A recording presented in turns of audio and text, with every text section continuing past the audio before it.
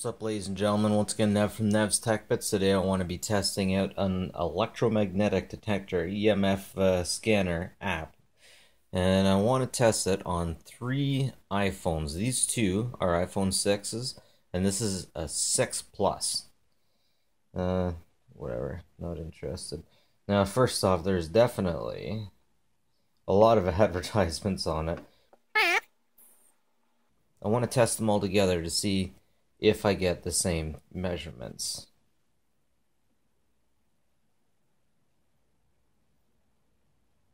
Oh, I gotta calibrate this one one second.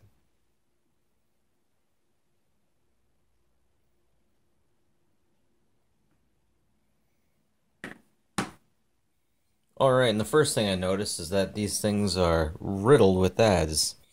Jeez.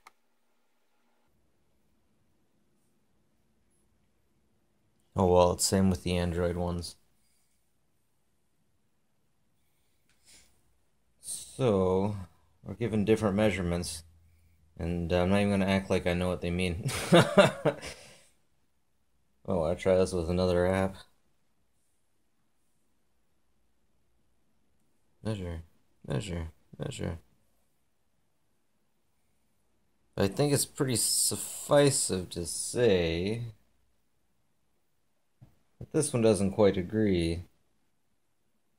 They're off by about 10.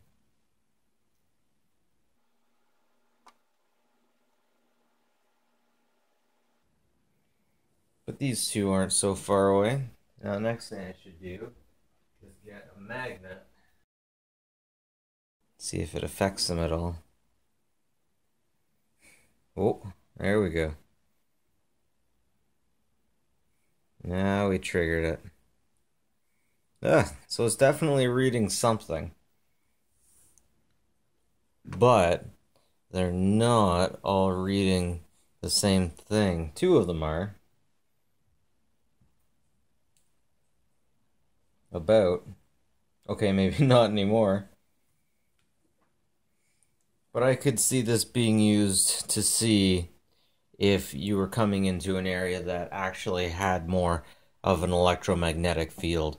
I'm pr it's pretty suffice to say that even if you get the same ones off the line uh, in sequential order, you're not going to get uh, a perfect view across the board. And that's a little bit unfortunate, but again, you will definitely be able to use these to see if you have suddenly walked into a place that has a much higher into a place that has a much higher uh, electromagnetic field. Man, these apps have a lot of ads in them. Even the ones for Android.